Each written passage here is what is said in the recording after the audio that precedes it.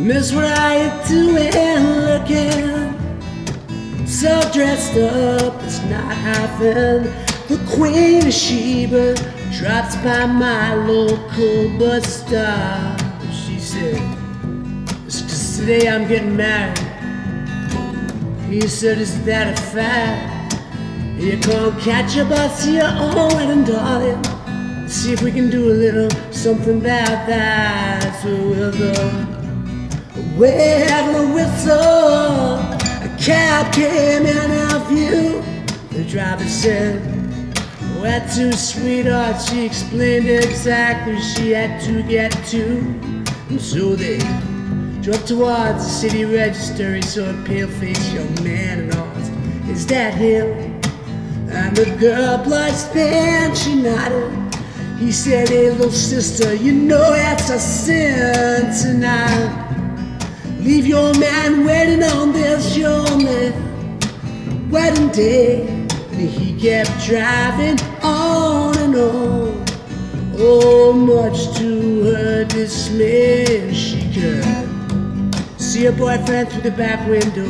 He was sweating at the front, and that taxi smelled like an ashtray. But the driver, he just drove on and on. He was talking about how he came home from the war. And he lived in Erskineville, of how he wanted a wife of his own, but he lost all trace of her until, but then he kind of paused and said,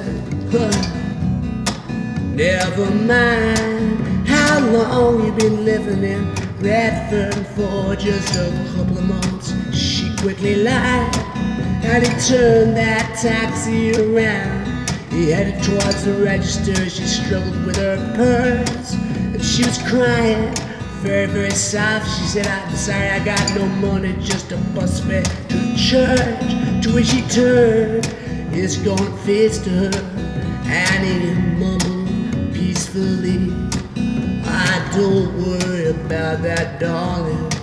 No, it's on me. It's on me. It's on me. It's on me. It's on me.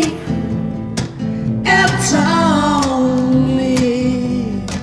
It's on me. It's on me. It's on